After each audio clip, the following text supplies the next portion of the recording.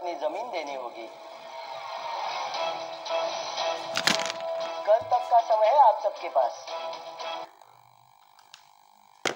आवाज़ टीवी की बंद कर देती हूँ क्योंकि मैंने अपना व्लॉग बनाना है तो टीवी की आवाज़ बहुत ज़्यादा ऊँची थी तो मैंने कहा चलें इसको करते हैं बंद।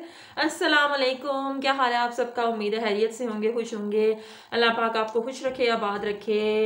शुरू करती हूँ जी मैं अपना व्लॉग मेरे व्लॉग के अंदर आज क्या है? मैंने पहले तो घर की सफाइयाँ सुथराइयों से ही शुरू करना होगा, क्योंकि मैंने घर में अभी काफ़ी ज़्यादा बच्चे गए हुए हैं स्कूल। तो जब स्कूल बच्चे जाते हैं तो उसके बाद माँ ने हिम्मत पकड़नी होती है कि उठूँ, उठ के जो है वो हिम्मत पकड़ते पकड़ते मुझे तो डेढ़ घंटा लग जाता है तकरीबन। क्योंकि नाश्ता करना होता है, अपने भाई को नाश्ता देना होता है, और उसके बाद थोड़ा सा टीवी पे अपडेट्स वगैरह चेक करती हूँ, या अपने फ़ोन पे अपडेट्स वगैरह चेक करती हूँ तो फिर उसके बाद उठती हूँ। तो उसके बाद मैंने अपना काम करना होता है तो काम करने के लिए उठी हूँ अभी। तो मैंने कहा चलें आज आपको भी दिखाती हूँ कि मैं काम करती हूँ और क्या क्या मेरे काम के अंदर आता है। वो उस तरीके की चीज़ें सर्दी बड़ी हो गई जनाब आपने अपनी स्किन का ख्याल रखना है पानी ज़्यादा पीना है जो कि बिल्कुल भी नहीं पिया जाता मैं खुद नहीं पी रही हूँ इन दिनों। तो मशरूबात वगैरह इन चीज़ों को आप तर्क कर दें कहवे वगैरह ज़्यादा पी लिया करें। तो अपनी स्किन का खास ख्याल रखें क्रैक्स पड़ जाते हैं स्किन फट जाती है और हम लोग कहते हैं कि आ, हमारा जो है वो आ, अब हम क्या करें डॉक्टर के पास भाग रहे होते हैं। मैं एक चीज़ बताती हूँ, अभी आप वेट करें।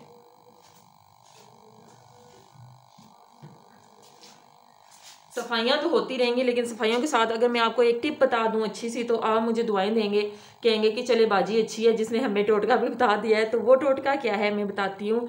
हर एक के घर में वैसलीन की डब्बी होती है, ठीक है ना? वैसलीन की डिब्बी होती है, ये तार नज़र आ रही है मेरे हाथ में, मेरे टीवी की। चलो जी, मैंने टीवी को भी बंद कर दिया है। ये वैसलीन की डब्बी तो हर एक के घर में होती होगी, मैं ज़रा ऐसे जाती हूँ, जैसे वो टीवी में दिखा रही होती है। अच्छा जी, कोई भी ले लें, अगर आपके पास नीले रखने वाले नहीं है तो आप सादे ढक्कन वाले भी ले सकते हैं, कोई बात नहीं। लेकिन ये होती है, इसको मैं किस तरीके से इस्तेमाल करती हूँ, अपने पैरों पे, अपने हाथों पे, के मेरे हाथ पे जो रिंकल्स हैं वो ना आए, या फिर जो क्रैक्स हैं वो ना आए तो वो किस तरीके से होता है कि मैं लेती हूँ, मैं आपको दिखा भी देती हूँ। पहले तो आपके पास होनी चाहिए ये डिब्बी। उसके साथ आपके पास होना चाहिए कोई भी लोशन जो आप इस्तेमाल करते हैं।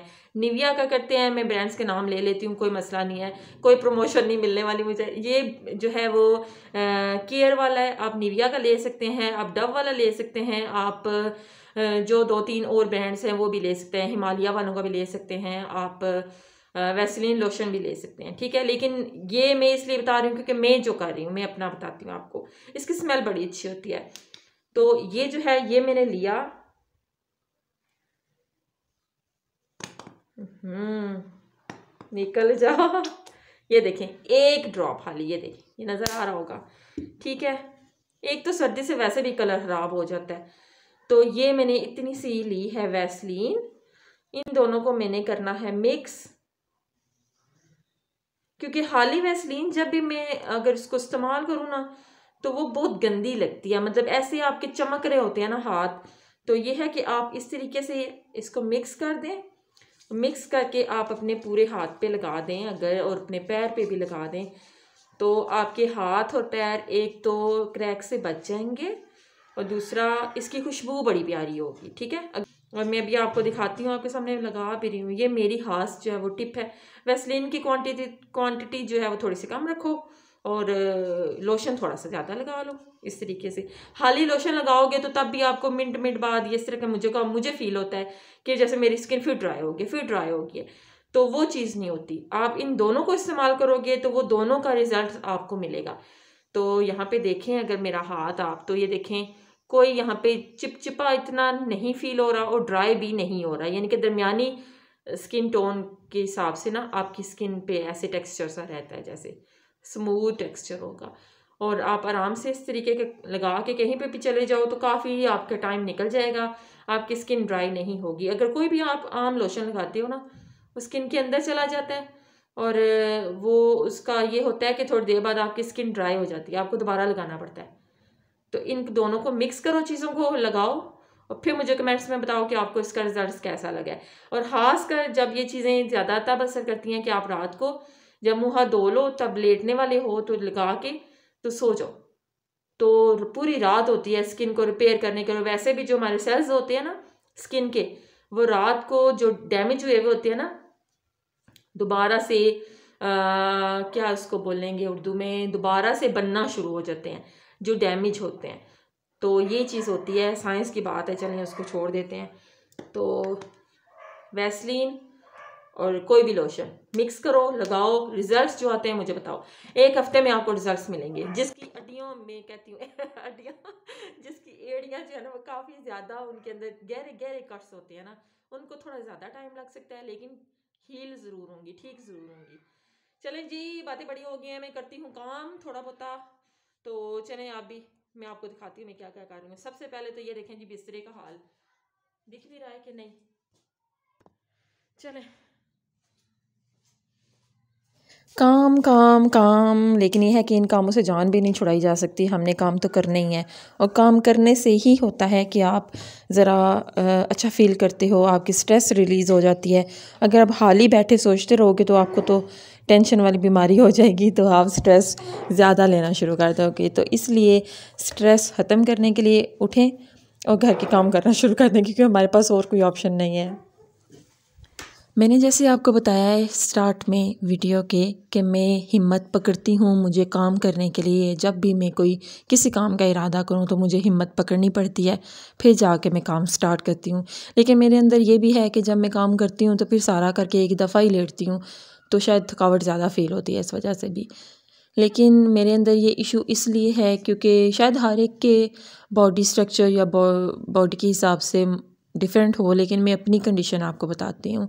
मेरे सी सेक्शंस हुए हैं तीन दफ़ा, क्योंकि मेरे माशाल्लाह से तीन बच्चे हैं, तीनों से सजेरियन ही पैदा हुए हैं। तो हर एक की बॉडी डिफरेंट होती है, मेरी बॉडी भी डिफरेंट है, क्योंकि मुझे, मैं पहले बहुत ज़्यादा स्लिम थी।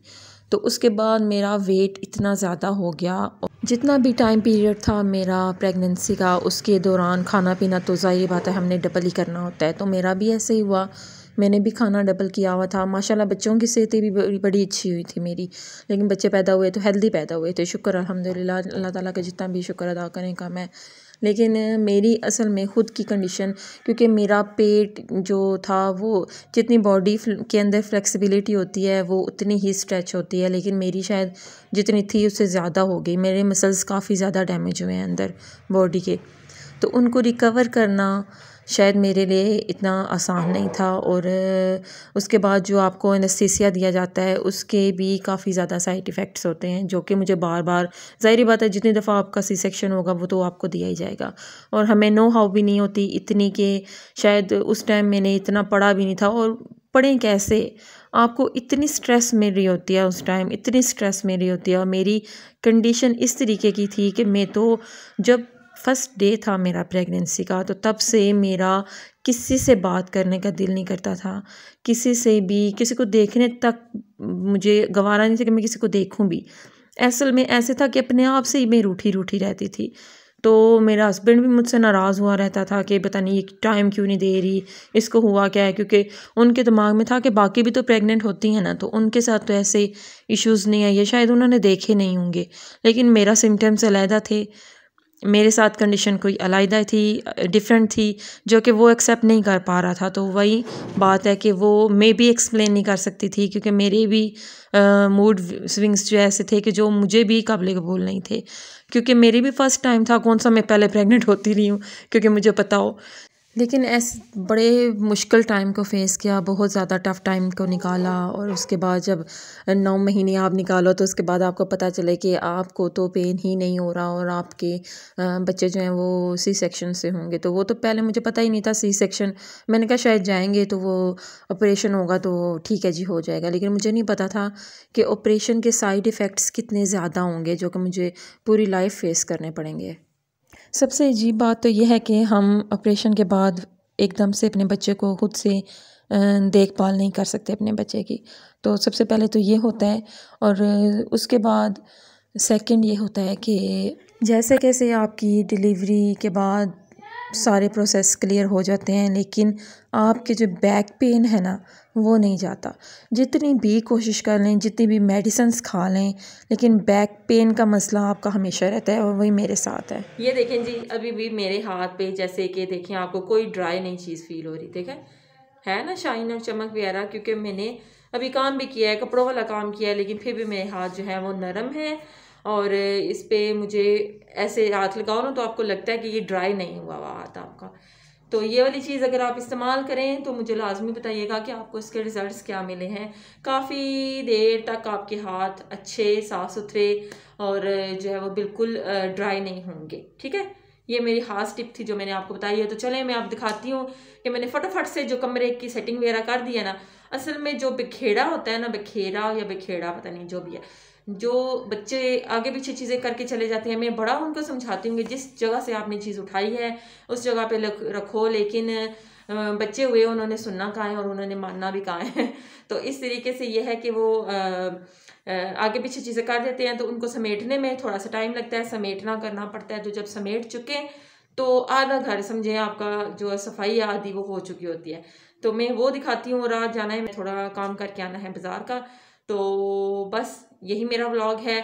आपने अगर ये वाला तजर्बा किया, ये टोटका किया तो मुझे आप बताना कि बाजी अंगेज़ा की आपको वीडियोस कैसी लग रही है। मेरे चैनल को सब्सक्राइब कर दें लाइक कर दें शेयर कर दें, क्योंकि आप लोगों की ये चीज़ जो होती है ना, कि लाइक करना शेयर करना सब्सक्राइब करना, वो हम लोगों के लिए इतनी बड़ी मोटिवेशन होती है ना, कि हमारा दिल करता है कि इससे बहुत अच्छी वीडियो बना के आपको लिए लेके आए, ताकि आप लोग देखें खुश हूँ, पूरा टाइम मेरी वीडियो देखें इंटरटेन हूँ और अपने जितने भी अच्छे और जिनसे आप प्यार करते हैं, उनको हमारी टिप्स वगैरह शेयर करें ताकि उन लोगों को भी फ़ायदा हो। ठीक है जी, अपनी दुआओं में हमें याद रखिएगा। अल्लाह ताला आपको बहुत खुश रखे, जो जो आपके दिल के अंदर अच्छी और नेक ख्वाहिशात हैं, नेक तमन्नाएँ, अल्लाह ताला उनको पूरा करे। ये थोड़ी सी सेटिंग की है अपने कमरे की तो मैंने कहा, चले, मैं आपको ज़रा दिखा देती हूँ। मेरे पास डबल बेड नहीं है। तो इन दोनों चौपाइयों को ही जोड़ रहती हूँ और ये डबल बेड मेरा बन जाता है। तो ये देखें जी, घर की काफ़ी सारी मैंने सेटिंग कर दी और, ये देखें, माशाल्लाह से माशाल्लाह से कमरा साफ़ सुथरा हो गया थोड़ी सी मेहनत लगी है और ये देखें। और ये जो है ना यहाँ पे मैं दिखाऊँ ये वाला, ये डेकोरेशन थोड़ा सा खुद ही बनाती रहती हूँ, लगाती रहती हूँ। ये टिशू के जो टिशू के नहीं होते, वो जो टिशू ख़त्म हो जाता तो पीछे उसका वो गत्ता सा रहता है, ये उससे मैंने बना के लगाया था और बाकी ये वाल पेपर पीछे लगाया हुआ है। तो माशाल्लाह से कमरा हमारा सेट हो गया है। तो ये देखें, इन चीज़ों से मैं बड़ी तंग हुई जो आपको सामने सेम नहीं नज़र आ रही, इससे जान नहीं छूटती। इस दीवार पे भी ये पेपर लगाने का मकसद ये है कि इसके पीछे भी काफ़ी सारी सेम थी। तो बस इसलिए इसको छुपाया हुआ है ज़रा पेपर लगा के